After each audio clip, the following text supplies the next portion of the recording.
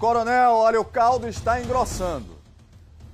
É, o caldo está engrossando. Duas pessoas foram sequestradas e feitas reféns em Frei Paulo.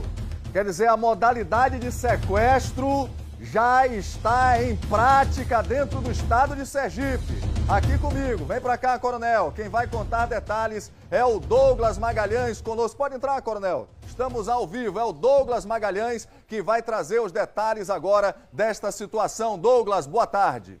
Boa tarde, Cláudio. Boa tarde, Coronel. Olha, a polícia está investigando três homens que ontem à noite estacionaram o carro em frente à residência de um grande empresário da cidade de Frei Paulo. Eles permaneceram por um bom tempo em frente a esta residência. E aí eles sequestraram o vigilante da rua e uma mulher que passava pelo local. E eles levaram eh, os dois como reféns. E a Informação que obtivemos da polícia, vejam só aí as imagens do momento do sequestro, é que eles fizeram várias perguntas a estas duas pessoas acerca do empresário, o dono daquela residência. Mas só que estas pessoas eh, não informaram muita coisa, não tinha muita coisa para informar. Primeiro porque a mulher que eles pensavam que seria funcionária deste grande empresário de Frei Paulo não tinha nada a ver, apenas estava passando pela rua. E o vigilante não era funcionário também do empresário, era um vigilante de rua. Fizeram várias perguntas e depois deixaram os reféns na cidade de Itabaiana, onde também abandonaram o caso, o, é, que está sendo agora investigado pela Polícia Civil, que já acionou inclusive o Departamento de Inteligência. É com você, Cláudio. Muito obrigado pelos detalhes, pelas informações. Chovendo bastante hoje, né? O nosso Douglas Magalhães está sempre nas ruas todos os dias. Hoje está aí no nosso bonito né, departamento de jornalismo. Valeu, Douglas. Muito obrigado. Uma boa tarde para você.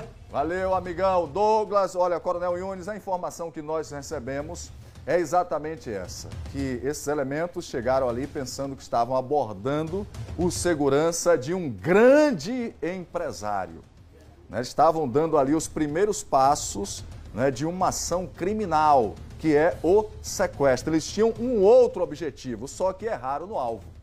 É, Cláudio, é, esse tipo de, de crime que não aconteceu, que seria o sequestro propriamente dos alvos, é algo que precisa ser investigado. E as pessoas que fizeram esta tentativa desse sequestro que foi por água abaixo, digamos assim, precisam ser presos. Caso contrário, nós teremos o sequestro efetivado. É aquelas comparações que a gente faz com relação às tentativas de homicídios, da importância que se tem de fazer a investigação e se chegar aos autores, porque caso contrário o crime vai ser concretizado. Nesta situação, a mesma é, vivência. Precisamos mais do que nunca saber quem foram os autores desse crime, né, desse intento criminoso que não logrou êxito, porque senão eles irão tentar um novo sequestro e, infelizmente, talvez alguém fique em cárcere privado e aí é um trabalho investigativo muito cansativo e que pode trazer resultados muito negativos quando as pessoas podem até perder a sua vida, Cláudio.